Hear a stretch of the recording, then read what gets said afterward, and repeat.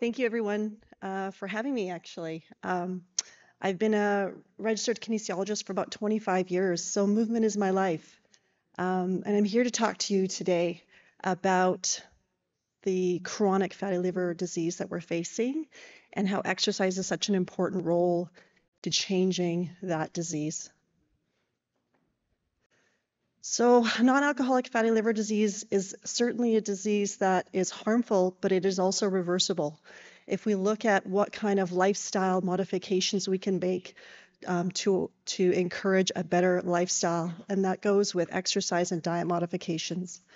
And liver is one of the only organs in the body that can regenerate. So if we are in an early stage like non-alcoholic fatty liver disease, it is a reversible process if we make some lifestyle changes. So the key is to improve our longevity. We want to live longer, longer, healthier lives with lots of quality of life. So lifestyle changes are really important factors for us to make these positive improvements in our life. So what does exercise do for us? So exercise as a strategy for fatty liver helps to burn the liver fat. It improves our insulin resistance. It decreases the circulating glucose in our blood. It also decreases the triglycerides in the blood. It improves our liver markers and increases our basal metabolic rate for calorie burning. This is a long list of benefits and such a valuable piece to changing the projection of the disease. So, what is aerobic exercise? It doesn't have to be something very structured. Exercise itself is basically any rhythmic, continuous activity that increases our heart rate and our breathing rate. And so we look at calculating our maximum heart rate, and there's an equation we use looking at 220 beats per minute minus your age. So that means that every year this number will change. And as we age, our maximum heart rate will change. It's actually going to start to decrease. So typically what we'll do is calculate someone's maximum heart rate by using this equation, 220 minus age. And we never work at that absolute maximum. With exercise, we work at lower values. So with aerobic exercise, we look at the type, intensity, frequency, and duration, but these are not currently standardized. And so what we do is have some recommendations of where we start. The American College of Sports Medicine and the World Health Organization, they recommend at least 150 minutes per week of moderate intensity physical activity. And what moderate intensity, modern intensity means is it's 50 to 70% of your maximum heart rate. So from that equation that we looked at 220 minus age, we take that absolute max and find 50 to 70% of that absolute max. In addition, we could use vigorous intensity. That's basically you doing an activity that's challenging you even more. And based on the recommendations by the WHO and ACSM, vigorous intensity is 70 to 85% of our maximum heart rate for at least 75 minutes a week. So we can look at weekly activity as an important role in changing this disease? And how do we determine whether we're in that moderate or vigorous intensity zone? It's easy for us to use a rating of perceived exertion scale and helps you self assess how hard you feel you're working. So the self reported scale that you see on the, on the slides is a 1 to 10 scale. And if you look at the color green and the color yellow, so green is, is a rating of 4 to 6 out of 10 of moderate activity. And that means we're breathing heavy. We can hold a short conversation, but you're still comfortable when you're exercising. So that's that 50 to 70% of our maximum heart rate. And that vigorous intensity zone, we're looking at a self rating of 7 to 8 out of 10. So it's getting a little bit more uncomfortable. I'm more short of breath, and I can only have really short, brief, one sentence conversations. So when you're exercising, it's important to kind of self-assess how hard you're working to determine if you're working at the right capacity to help with fatty liver. And in, in addition to that, if you're, if you're working at the right capacity for your fitness capabilities. So how do we get 150 minutes of exercise in our week? We don't always have to do structured exercise. we can actually, actually interject activity on a daily basis in many, many sessions throughout the day. So it's really an accumulation of short or long bouts of exercise. So we can start with as little as five to 10 minutes.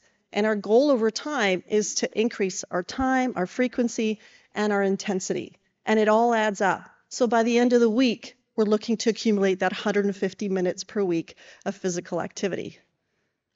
The key is to reduce our sedentary time. Sitting, as they say, is the new smoking. It's really bad for our health. We see that sitting for greater than three hours a day is associated with all cause mortality. We need to stop sitting so much, right? We need to get moving. so it's important for us to choose a very tolerable and enjoyable exercise. Things like brisk walking, jogging, running, cycling, swimming, dancing, tennis, pickleball, team sports, high intensity interval training. The frequency is typically recommended at three to five times per week. However, if you're doing these small increments of activity, we can spread that out over that seven day period and it can look like any, a very different on every single day. So, how do we get exercise into our day? How do we inject it into our sedentary lifestyles? So, it's important that physical activity it lo- it's basically look at any type of activity. It could be leisure, it could be planned exercise, or even chores around the house, things like gardening or mowing the lawn. So it's important for us to understand that instead of driving, we can walk or cycle for transportation. We can park our car a little further away when we're shopping, so we walk a few blocks. We can get off the bus one stop earlier and walk the rest of the way. It's important to encourage family to take part in our physical activity for some motivation and some help to get out there. We could walk the dog or get a dog because that's going to force you to get off the couch. Um, and if you're still in the workforce, walking during lunch hour is a great way to sort of break the habit of sitting. Taking the stairs instead of the elevator, taking up a favorite activity from the past, things like tennis or badminton, selecting a dance to your favorite music at home or joining a dance class at home. But the key really is making lifestyle changes and filling your, your days with movement. So, aerobic exercise, if we were to compare what moderate and vigorous looks like, uh, in the table that you guys can see, moderate intensity examples are things like brisk walking, cycling, water aerobics, tennis, ballroom dancing, general gardening, and on the other side of the table is the vigorous intensity. So I might be walking briskly, but I'm walking uphill. It's a little bit more uh, intensity focused. And then cycling at a greater speed. Maybe I'm running or jogging instead of water aerobics. Maybe I'm playing tennis in a singles event versus a doubles event where the intensity of the activity is just a little greater, forcing that heart rate and that breathing rate to increase even more. So, how do we get started? Especially if we're sedentary and we're not used to moving our bodies or exercising. It's important that if you've never been active, to seek some medical help from your physicians.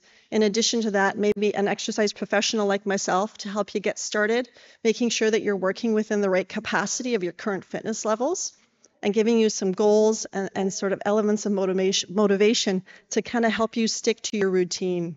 And it's important to say to start with small amounts and gradually work on increasing duration, frequency, and intensity over time. The goal is to be as physically active as your abilities allow. So, how do we get motivated? And, and it's really hard sometimes because we're all sometimes really tired when you get home from work and you just don't feel like getting off the couch. But it's important to exercise sometimes with, a, with family or friends that kind of like hold you accountable, setting an appointment with yourself, using a fitness tracker to log your steps or activity because I don't know if, if you if you all have a fitness tracker, but this thing will remind me daily if it's time to stand up or it's time to move. And sometimes having those small little nudges on our shoulder to kind of coach us out of the seat is a great sort of additive. Joining a community walk program increases your social aspect as well as getting your physical activity in and choosing an exercise that you enjoy and that you stick to. Because at the end of the day, the best exercise is the one that gets done. It's not that structured exercise class if that's not what you're used to doing. So you're best to stick with something you enjoy. And then at the end of the day, rewarding yourself for being consistent with exercise is always a good call. Who doesn't like to go shopping if they're excited that they achieve that weekly 150 minutes? So the goal here is move your body regularly. With exercise, a bonus of that is typically weight loss. And we've seen that with fatty liver, it's ideal to have the best benefits of weight loss, about 7 to 10% of your body weight. So it's important to get started on a routine and then be consistent with that routine so that over that one year period, you can gain that 7 to 10% change of body weight, which improves that current disease. So res resistance training is also recommended, and these um, resistance training improves factors that contribute to uh, non-alcoholic fatty liver disease. So resistance training are things like weightlifting. You could use machines or dumbbells or kettlebells, uh, body weight exercises, things like squats, push-ups or pull-ups, or even resistance band. And in the research, it shows that resistance training increases our insulin sensitivity, decreases the glucose floating in the blood, it decreases, decreases the glucose production in the liver, decreases our abdominal fat, and more muscle increases our calorie, calorie burning capacity. So at the end of the day, it really helps improve how we feel, but also how we look. Um, and in addition to that, resistance training is helpful with injury prevention. So typically with resistance training, we look at loads and numbers of reps and it's dependent on your current fitness abilities, your age, and your goals. And typically, what we'll see for muscle building, building lean body mass, we'll, we'll use 8 to 12 reps and 2 to 3 sets of each exercise that we do.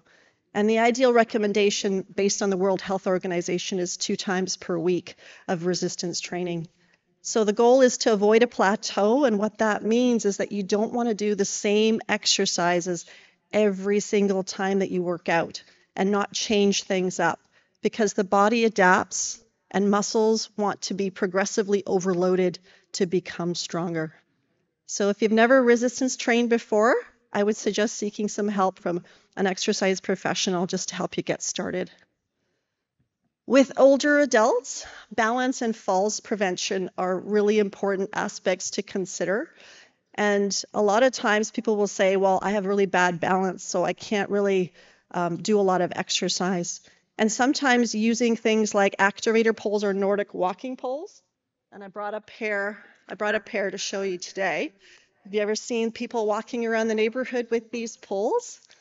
Um, they're actually really great. They they really um, help with the balance, the core, and help you kind of propel that walking pace even faster than you would without the poles.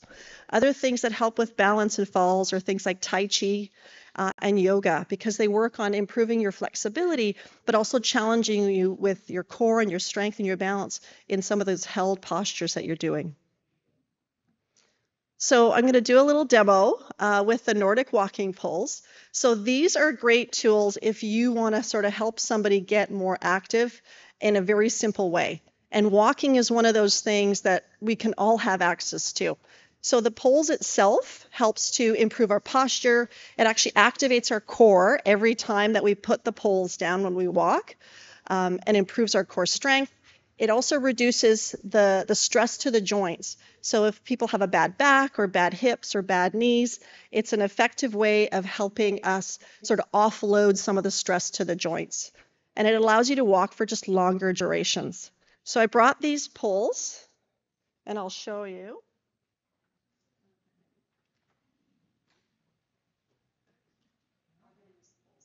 So what I'm going to do is basically just show you like naturally when we walk, we sort of sort of sort of take a nice little stroll. But with the poles itself, you, uh, the person behind you hold the mic close to you so we can sure. hear you talk. Do you want to follow me as I walk? Okay. okay. so he's going to follow me while I walk. But so what I'm going to do, I'm going to walk across the room and I'm going to step basically with a really purposeful gait and I can push down against the ground with these poles. So I can feel my core engage every time that I place the poles down, right? And I can actually increase my walking pace just by doing that. And you've seen, um, I think, uh, Nordic walking poles. So these are activator poles. These are rehab poles because they have very flat bottoms. But Nordic walking poles usually have a little boot on the bottom. And they tend to be slanted, as you see in the photo here, and they kind of help again propel you forward. So there's a lot of walking groups out there, even with uh, the poles themselves, or but just walking um, in the neighborhood with these is is pretty cool.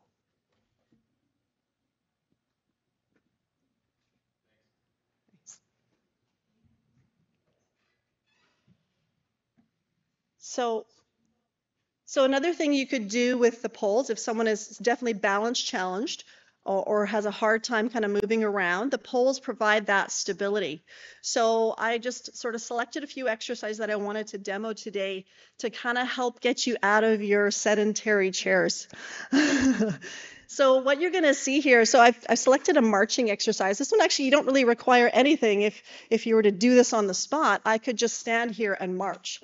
And what you're going to notice if you stand in march is that my heart rate and my breathing rate are increasing. So I'm now working at that moderate, moderate, vigorous, moderate intensity exercise in, in, in, just a few seconds, right? So the idea here is to sort of help us understand that any kind of movement we do throughout the day, we can inject these moderate or vigorous intensity moments. So with the poles, if I wanted to add a little bit more core into it, I could stand with my poles, I'm pushing down into the ground, and then I'm doing my marching exercise. If I have a mobility challenge, I can do this with my poles in a seated position. So for example, I'm sitting here and I'm doing a marching exercise from a seated position. Sorry. So from a seated position, I could do my marching exercise here. And as I push down with the poles, my core is engaged with every movement that I do.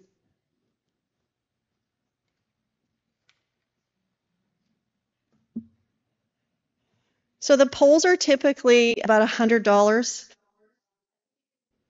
Oh, did this turn off?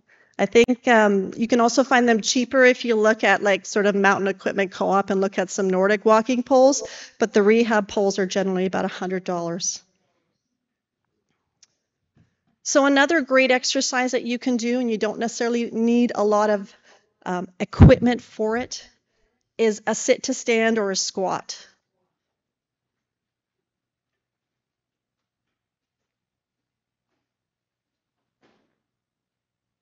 So I will often encourage people to basically say, every time you get out of the chair, just do it 10 times, right? If I'm going to sit here and get up and down 10 times, I'm going to increase my breathing rate and my heart rate. And there's my moderate intensity exercise, right? So throughout the day, we can actually improve our ability to increase that 150 minutes so that we can accumulate that fitness throughout the week. If we want to make it a little bit more challenging, we could add weight to it. So I could do maybe a goblet squat. And you can't really get the goblet squat wrong because if I hold load close to my body, the body understands that I can keep everything really close and do this very safely. So now I'm increasing the intensity of the exercise. And if I wanted to, I could increase a shoulder raise and go up and down. So imagine if you did this every hour, 10 times, and you got out of your chair. Thanks.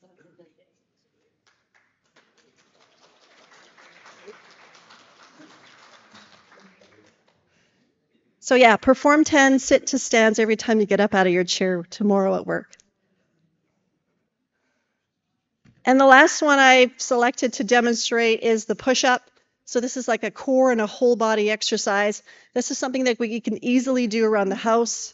Uh, a couple progressions or regressions are standing at a counter or wall and doing push-ups. So if someone has like low fitness ability for you to do a push-up in the kitchen is fairly easily done. And then if you get, I'm, I'm, I'm working hard. and so as you progress, we lower ourselves closer to the ground. So the progression is doing push-ups at a chair. So at home, I can do my push-ups from here, and it's a little bit harder than the standing variation. And then the regression or the, the regression would be on your knees if that's something that your fitness ability um, would be better suited for.